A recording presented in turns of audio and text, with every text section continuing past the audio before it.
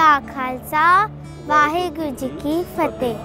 ਜੀ ਕੇ ਅੰਕਲ ਮੈਂ ਤੁਹਾਡੇ ਤੋਂ ਇੱਕ ਕੁਐਸਚਨ ਪੁੱਛਣਾ ਚਾਹੁੰਦੀ ਆ ਜੀ ਬੇਟੇ।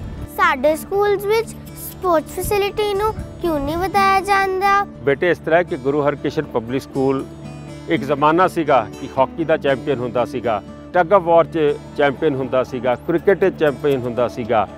ਬੜੇ ਹੋਰ ਐਥਲੈਟਿਕਸ ਦੇ ਵਿੱਚ ਸਾਡੇ ਰਿਕਾਰਡ ਨਹੀਂ ਟੁੱਟਦੇ ਸੀ ਲੇਕਿਨ ਪਿਛਲੇ 10-15 ਸਾਲਾਂ 'ਚ ਬਹੁਤ ਗਿਰਾਵਟ ਆਈ। ਪਹਿਲੀ ਦਫਾ ਸਾਡੇ ਬੱਚੇ ਐਥਲੈਟਿਕਸ ਦੇ ਵਿੱਚ ਨੈਸ਼ਨਲ ਲੈਵਲ ਦੇ ਉੱਤੇ 골ਡ ਮੈਡਲ ਲੈ ਕੇ ਆ ਰਹੇ ਨੇ। ਸਾਈਕਲਿੰਗ ਦੇ ਵਿੱਚ ਸਾਡੇ ਬੱਚੇ 골ਡ ਮੈਡਲ ਲੈ ਕੇ ਆ ਰਹੇ ਨੇ।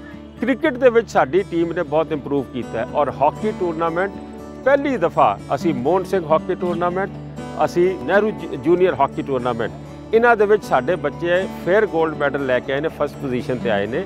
ਅਸੀਂ ਪੂਰੀ ਕੋਸ਼ਿਸ਼ ਕਰ ਰਹੇ ਹਾਂ ਕਿ ਅਸੀਂ ਸਪੋਰਟਸ ਲਈ ਬੱਚਿਆਂ ਨੂੰ ਫੈਸਿਲਿਟੀਆਂ ਵੀ ਦਈਏ ਇਕਵਿਪਮੈਂਟ ਵੀ ਦਈਏ ਔਰ ਉਹਨਾਂ ਦੀ ਪੂਰੀ ਫੀਸ ਵੀ ਮਾਫ ਕਰਤੀ ਹੈ। ਤੁਸੀਂ ਜਿਹੜਾ ਸਵਾਲ ਕੀਤਾ ਬੱਚੇ, ਤੁਸੀਂ ਹੁਣ ਦੇਖੋਗੇ ਕਿ ਆਉਣ ਵਾਲੇ ਅਗਲੇ 2-3 ਸਾਲਾਂ 'ਚ, ਜਿਵੇਂ ਅਸੀਂ ਪਿਛਲੇ 2-3 ਸਾਲਾਂ 'ਚ ਕਈ ਗੇਮਸ ਦੇ ਵਿੱਚ ਇੰਪਰੂਵ ਕੀਤਾ, ਹੋਰ ਨਵੀਆਂ ਗੇਮਸ ਦੇ ਵਿੱਚ ਸਾਡੇ ਬੱਚੇ ਨੈਸ਼ਨਲ ਲੈਵਲ ਔਰ ਇਹੀ ਬੱਚੇ ਕੱਲ ਨੂੰ ਏਸ਼ੀਅਨ ਲੈਵਲ ਤੇ ਔਰ 올림픽ਸ ਲੈਵਲ ਤੇ ਵੀ ਪਾਰਟ ਲੈਣਗੇ। ਅਸੀਂ ਪੂਰੀ ਉਹਨਾਂ ਨੂੰ ਮਦਦ ਕਰ ਰਹੇ ਹਾਂ। ਤੁਹਾਨੂੰ ਨਹੀਂ ਲੱਗਦਾ ਸਿੱਖ ਬੱਚਿਆਂ ਨੂੰ ਵੀ ਸਪੋਰਟਸ 'ਚ ਅੱਗੇ ਆਉਣਾ ਚਾਹੀਦਾ ਹੈ। ਬੇਟੇ, ਤੇਰਾ ਸਵਾਲ ਬਹੁਤ ਅੱਛਾ ਹੈ।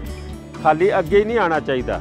ਮੈਂ ਅੱਜ ਅਪੀਲ ਕਰਦਾ ਵਾਂ, ਮਾਪਿਓ ਨੂੰ ਵੀ। ਤੁਸੀਂ ਵੀ ਬੱਚੇ ਆਪਣੇ ਪੇਰੈਂਟਸ ਨੂੰ ਜਾ ਕੇ ਕਹਿਣਾ, ਤੁਹਾਡੀ ਉਮਰ ਛੋਟੀ ਹੈ।